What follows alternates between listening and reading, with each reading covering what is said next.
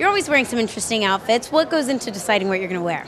You know, it's just what I feel, what I like. I, I don't have a stylist pulling it for me because I've lived around the world. I lived in Milan for several years and you know, I, I love this is actually me. You know, it's not what somebody you know, put together. It's all me. And, you know, a lot of people hate what I do, a lot of people love what I do. But as long as I'm having fun and I like it, I'm going to keep on.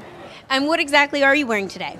Uh, this is Marc Jacobs dress, and then this is actually one of my hats out of my hat line, and Jimmy Choo shoes. And what's your hat line called?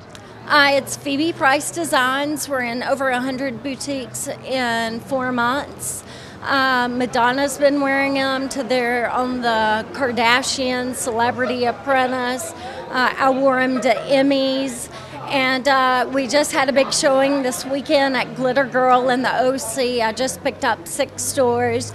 And then yesterday we just got picked up in uh, San Diego at Ooh La La. So it's been such an adventure and been uh, it's just been really incredible and I've been really blessed. And are you going to expand to any other women's clothing? Well, I am working on a clothing line right now. We've sent all the pieces off to China.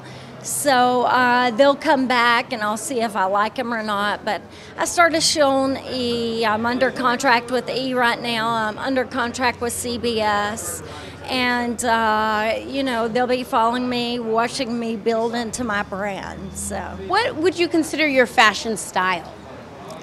Um, out there. that would probably, you know, describe my whole style. So, have you always been like that? Yeah, yeah. You know, and when I was too young, I'd always wear like clothes too tight or that, you know, I wore when I was four, I would wear them when I was eight. So uh, fashion has always been a challenge and an adventure. Great. Well, thank you so much and have a fun time tonight. Nice to speak with you. Thank you.